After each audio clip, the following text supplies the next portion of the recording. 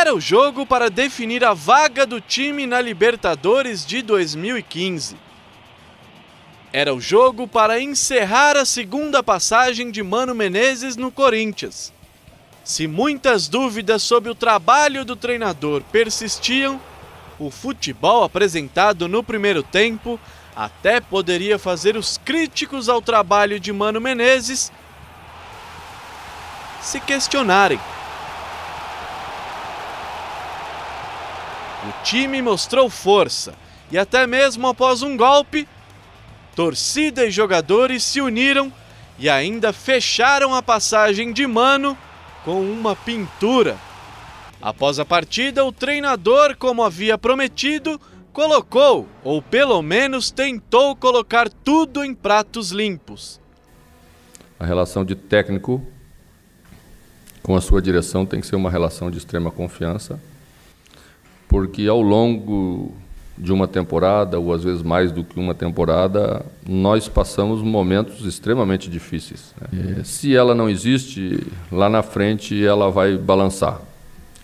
E eu não quero passar por isso. Se o Corinthians também não quer, eu acho que as partes entendem da mesma forma que o trabalho realmente não deve ser, não, não deve ter continuidade.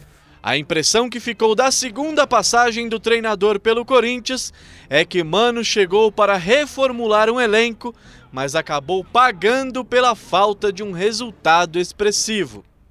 É, é mais honesto para a relação quando você ah, deixa que alguém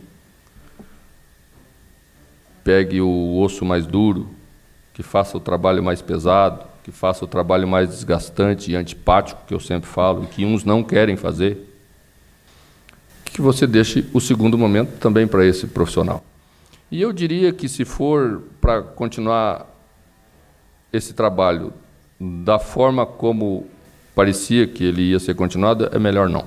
Para Mano Menezes, resta buscar um novo time para 2015 para o Corinthians, buscar um novo comandante para iniciar o projeto Libertadores.